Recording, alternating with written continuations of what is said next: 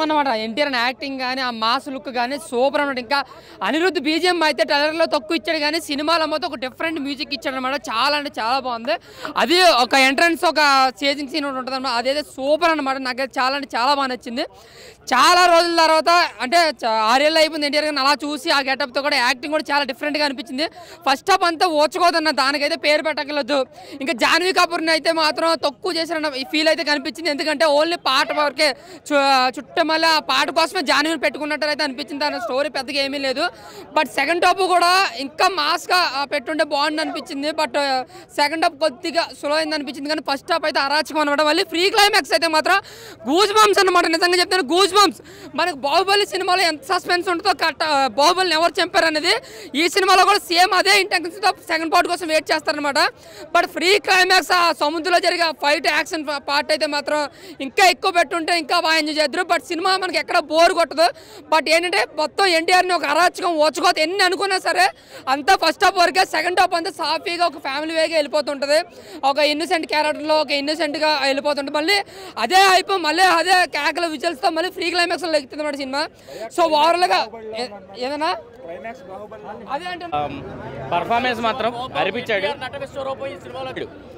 భయపడాల్సిందే thank you ఓవరాల్గా నేను వందకి ఎనభై మార్కులు వేస్తాను. దేవరా. దేవర. సినిమా. ఓన్లీ ఎన్టీఆర్ అండ్ అనిరుద్ అని అనిపించింది నాకు సినిమా మొత్తం. చాలామంది పార్ట్ టూ తీయడానికి పార్ట్ వన్లు చెడగొడుతున్నారు అనే ఫీలింగ్ అయితే నాకు అనిపించింది ఈ సినిమా చూసిన తర్వాత. కొన్ని కొన్ని పోస్టర్స్ వస్తాయి సినిమాలో. వేరే లెవెల్ ఉన్నాయన్న. చాలా బాగున్నాయి. ఒకటి హాఫ్ మూన్ ఫుల్ మూన్ చేసేది. షార్క్ది ఒకటి ఉంటుంది. అవైతే బ్యాక్గ్రౌండ్ స్కోర్కి అది అసలు అది విజువల్గా చూస్తుంది. ఇంకోటి దేవర ఇలా కత్తులు పట్టుకొని ఉంటే బ్యాక్గ్రౌండ్లో ఫైర్ వస్తూ ఉంటుంది బోటు మీద. అవి కొన్ని కొన్ని పిక్చర్ అవి కెమెరా వర్క్ కావచ్చు కొన్ని విజువల్స్ కావచ్చు వేరే లెవెల్ ఉంది. వేరే లెవెల్ బ్యాక్గ్రౌండ్ స్కోర్. కానీ స్టోరీని ఎంత లాగాలో అంత లాగితే బాగుండేది. లాక్కొని పోతనే ఉన్నాడు. అంత లాగడం వల్ల సినిమా దొబ్బిందనే ఫీలింగ్ వచ్చింది నాకైతే. ఓన్లీ వన్ మ్యాన్ ఎన్టీఆర్ గారు తప్ప ఇంకా వేరే చూసేదానికి ఛాన్స్ లేదు. ఇంకొకటి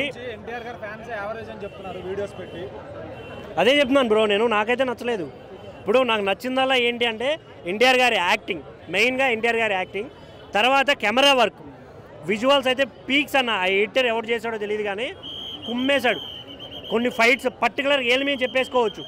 ఎంట్రీ సీను ఏదైతే వాటర్లో జరిగే సీక్వెన్సెస్ అన్నీ ఆ షార్క్ సీక్వెన్స్ కావచ్చు ఇవి ఆ ఫైట్స్ డైలాగ్స్ కూడా ఎక్కువేం లేవు. మనకి ట్రైలర్లో ఏవైతే డైలాగులు చూపించారో ఎగ్జాక్ట్గా అవే డైలాగులు సినిమాలో ఉన్నాయి.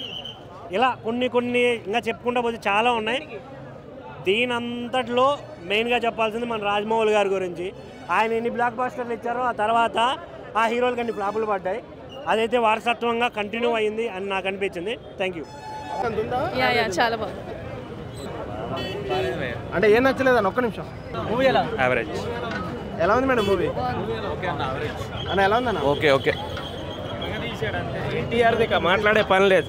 మేడం ఎలా ఉంది మేడం మూవీ ఎలా ఉంది? సూపర్ ఉంది. ఒక్కసారి చూసి చూడు మీకు అర్థమవుతుంది మీరు చూడండి.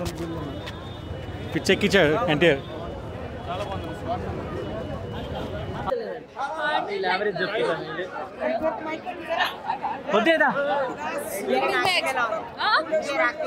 బాగుంది చాలా బాగుంది ఎన్టీఆర్ ఎన్టీఆర్ కోసం పోయాం